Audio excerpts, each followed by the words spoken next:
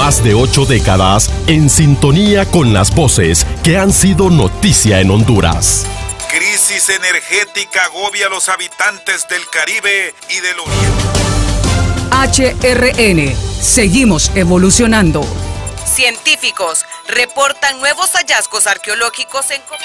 Médicos y maestros paralizan sistema de salud y educación a nivel. Más voces. Espéralas. HRN. La voz de Honduras.